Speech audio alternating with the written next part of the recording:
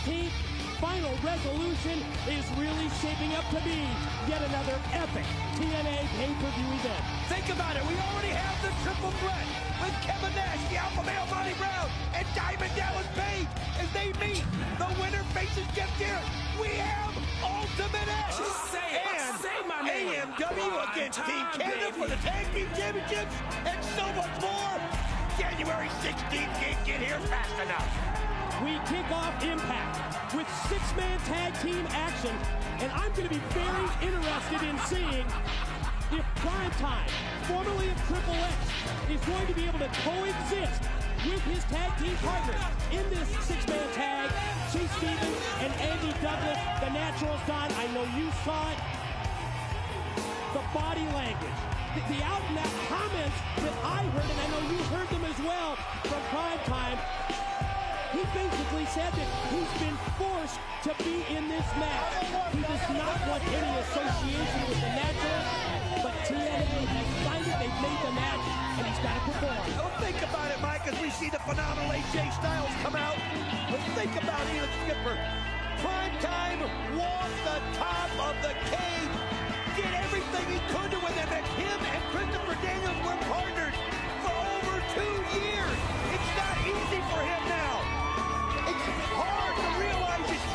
be keeping up with your right arm again.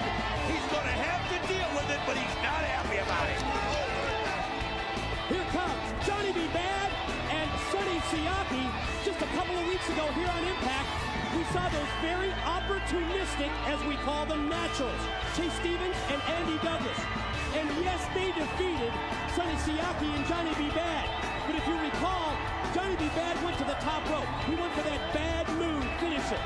He went to hit it on Chase Stevens, but it was Andy Douglas who blocked him from outside, and he hooked Johnny B. Badd. That allowed the Naturals to get a win. And I know that Sonny Siaki and Johnny B. Badd are gunning for revenge. Well, I'll tell you something. You could tell some good chemistry, though, forming between Siaki and Johnny B. Badd. And Sonny Siaki's another one to keep your eye on. He is invigorated. He's so glad to be back in that ring. This guy offers a lot of power. And when you throw in the phenomenal AJ Styles and the veteran Johnny B. Badd, this is an incredible threesome that you see out there. Like you said, though, the big question is can the Naturals and Prime Time coexist? But I still, we've got to talk about the triple threat in final resolution. Kevin Nash, the alpha male Monty Brown, and Diamond Dallas Page. It's going to be pin submission or over the top of the rope to be eliminated. The winner takes on Jeff Jarrett later on in the program. And think about how many different ways that can go. Obviously, the most interesting aspect of the triple threat elimination matchup, which will obviously be, be before that world's title match at Final Resolution, is what if Kevin Nash was victorious? We would see Kevin Nash against Jeff Jarrett. We would see two of the kings of wrestling go head-to-head for the NWA World's Heavyweight title. Oh, let's face it.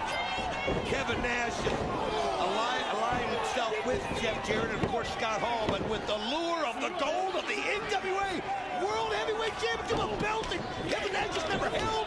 Oh, that's too powerful. He'd have to go for it, wouldn't he, Mike? I I don't know. I'm not gonna.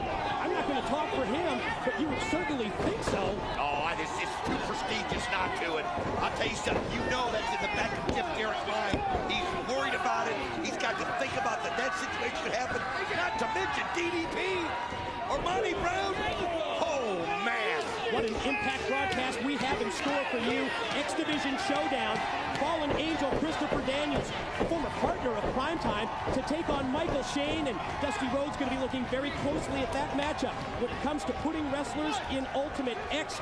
The X Division Championship match, January 16 in Final Resolution. Plus, get ready for Scott Hall against Hector Garza after what went down last week on Impact with Garza. The knockout blow with the guitar on Scott Hall. I can't wait to see that. Well, Scott Hall asked for it. He handed it to him. I don't think he ever thought that Garza would have the nerve to do it with Kevin Nash standing right there. He did. Now we're going to see him later on the program. But right now, you've got to admit that the Naturals have AJ Styles reeling. We've not seen prime time in the ring yet. He's kind of distancing himself from the the Naturals. Like I said, he just it just it's new to him out there to have a different partner. What an attitude Yeah. we're seeing here from Primetime. I mean, I, I mean, I can certainly understand him being upset The tag team of, of Triple X forced to disband because of the loss at Turning Point.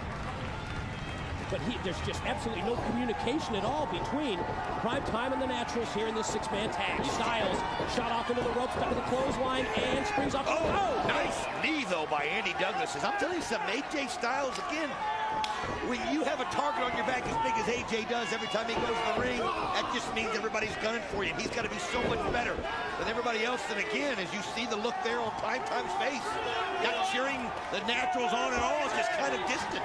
You notice it today? Almost as if he was a loner. Just absolutely on his own. What an attitude we've seen from him as Stevens goes for the cover on Styles. Had the far leg hook, but only able to get a two count. Nice backbreaker, though, like Chase Stevens. Knee on the back of AJ Styles. Tell you something. AJ has got to get a tag into Johnny B. Or Sonny Siaki quick. Boy, this is going to be over before these guys even get a chance to get the ring. Naturals with the double team on Styles behind the back of referee Andrew Thomas. Now Styles set up on the top corner there. Shot to the side of the head by Douglas. Going to try and follow him up and does. Douglas goes up to the middle rope as well. Oh, nice elbow right there by AJ. This guy has no quit in him. He doesn't even understand the word. Oh, look at right there. Prime time rolls over and takes a shot on AJ. Wasn't even tagged in. Just takes a shot. Unbelievable. It's like he just had to take out his aggression on somebody. Yeah, check this out. It's almost as if that frustration is just boiling over here. Primetime attacking both Johnny B. Badd and Sonny Siaki after just flung Styles down to the floor. He's uncontrollable right now. Here he goes. Wow, what a spin move over the top of the ropes. Right into AJ Styles. Wow is right. Slingshot into a twisting cross-body block. And Look at this, like the Naturals are trying to control him. I, I, think they don't want to be disqualified right here. I mean, this is, look at this.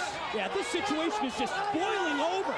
The frustration so evident. Oh, never saw that one coming. Siaki laid him out with a clothesline. You better believe it. Siaki took advantage. Right now, Andrew Thomas has no idea who's legal, who's what, who's who. As Siaki throws AJ back in the ring.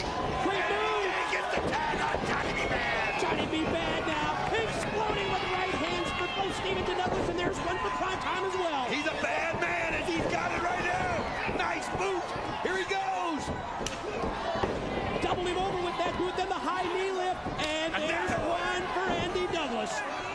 I'll tell you right now, now he's got prime time in his sights. Oh, look at that.